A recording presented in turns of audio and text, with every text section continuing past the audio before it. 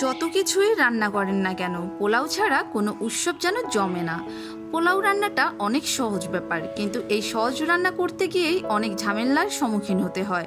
কারও পোলাও বেশি নরম হয়ে যায়, আবার কারোটা থেকে যায় চাল চাল কারোটা ঝরঝরে হয় না। আজকে কিচেন অ্যান্ড ক্রাফটসের এই পর্বে এই সমস্যার সমাধান পাবেন এবং সেই সঙ্গে গতানুগতিক পোলাও নয়।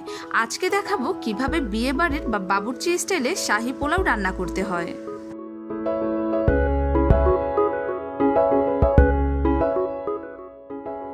একটি পাত্রে দুই কাপ পোলাইয়ের চাল নিয়ে নিচ্ছি। এখন চালগুলো পানি দিয়ে ধুয়ে নিব। ততক্ষণ পর্যন্ত ধুতে হবে, যতক্ষণ পর্যন্ত না পানিটা স্বচ্ছ হয়ে আসে।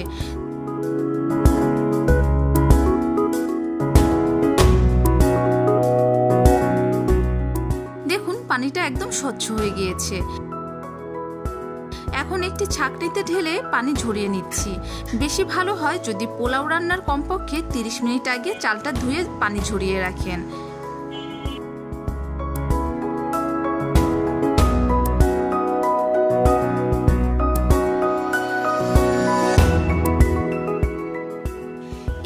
বড় পাত্রে ওয়ান ফোর্থ কাপ তেল নিয়ে নিচ্ছি।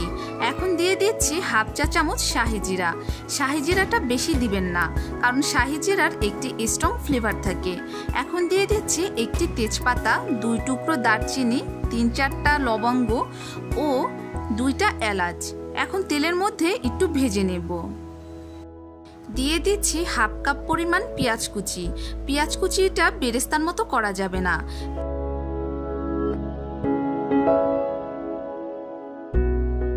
পেঁয়াজটা যখন নরম হয়ে আসবে এবং রংটাও সাদা থাকবে, তখন দিয়ে দিব এক চা চামচ আদা বাটা।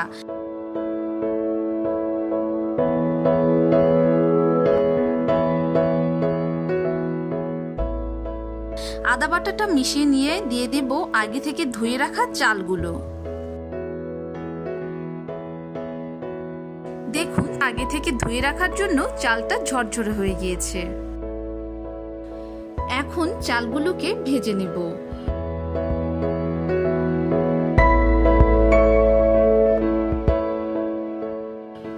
কিছুক্ষণ পর দেখবেন চালের কালারটা চেঞ্জ হয়ে গিয়েছে এবং চালটা অনেকটা আগের তুলনায় ঝরঝরে হয়ে গিয়েছে। ওই পর্যায়ে বুঝতে হবে চালটা ভাজা হয়ে গিয়েছে। আমি প্রায় সাত আট মিনিট ধরে ভেজে নিয়েছি। এখন চালের সাথে পানি অ্যাড করব। দিয়ে দিচ্ছি তিন কাপ গরম পানি। আমি যে কাপ দিয়ে চাল মেপেছিলাম, সে কাপ দিয়েই পানি দিব। আপনারা যে কাপ দিয়ে চাল মেপেছেন, সে কাপ দিয়েই ডাবল পানি দিবেন। আমি এখানে তিন কাপ পানি দিয়েছি ও এক কাপ দুধ দিয়েছি। পানি আর দুধ মিলিয়ে চার কাপ ব্যবহার করেছি। দুধটা দিলে টেস্ট ও কালারটা ভালো আসে।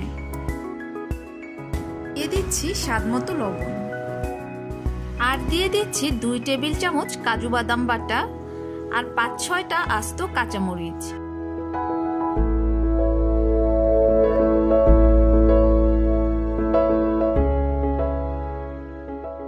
এখন ঢেকে মিডিয়াম আঁচে রান্না করব পাঁচ মিনিটের জন্য। এর মধ্যে একবারও ঢাকনা খোলা যাবে না। পাঁচ মিনিট হয়ে গিয়েছে। এই পাঁচ মিনিট ঢাকনা দিয়ে জাল করার জন্য পোলাওটা অনেক ঝরঝরে হবে এবং পোলাওয়ের চালটা অনেকটা লম্বাটে হয়ে গিয়েছে এবং এই চালটা আর ভেঙে যাবে না। পোলাওয়ের পানি একদম শুকিয়ে গিয়েছে। এখন চুলার জালটা একদম লো করে দিয়ে ঢাকনা দিয়ে ঢেকে রান্না করব ছয় সাত মিনিটের জন্য। এখন দিয়ে দিচ্ছি হাফ চা চামচ চিনি, পাঁচ ছয়টি কিশমিশ এক চা চামচ কাঠবাদাম কুচি, তিন চার ফোঁটা কেওড়া জল, চার পাঁচ ফোঁটা গোলাপ জল এবং এক টেবিল চামচ ঘি। এখন এগুলো খুব ভালোভাবে নেড়েচেড়ে মিক্সড করে দিব।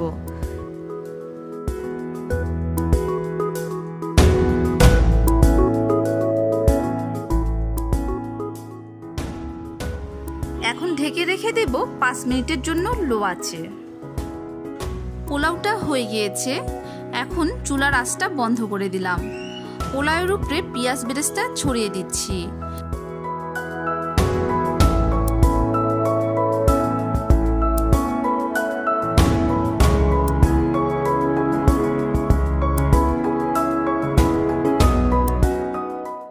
এখন ঢেকে দমে রেখে দেব পাঁচ মিনিটের জন্য। বিয়েবাড়ি স্টাইলের পোলাও হয়ে গিয়েছে। দেখলেন তো, কত সহজেই রান্না করা যায় বিয়েবাড়ি স্টাইলের পোলাও। আমি এখন প্লেটে পরিবেশন করে দেখাচ্ছি কতটা ঝরঝরে হয়েছে। পোলাও রান্না করার সময় চেষ্টা করবেন ছড়ানো ও মোটা তলাযুক্ত হাঁড়ি ব্যবহার করতে। আপনারা যদি পাতলা তলাযুক্ত হাঁড়ি ব্যবহার করেন, তাহলে নিচে একটা তাওয়া দিয়ে নেবেন। আমি বিয়েবাড়ি স্টাইলের পোলাওটা সার্ভ করছি বিয়েবাড়ি স্টাইলের রোস্টের সাথে। আপনারা বিয়েবাড়ি স্টাইলের রোস্টের রেসিপির লিঙ্ক ডিসক্রিপশন বক্সে পেয়ে যাবেন। আমার চ্যানেলে নতুন হয়ে থাকলে অবশ্যই সাবস্ক্রাইব করতে ভুলবেন না। লাইক, শেয়ার ও কমেন্ট করে পাশে থাকবেন। সুস্থ থাকবেন, ভালো থাকবেন।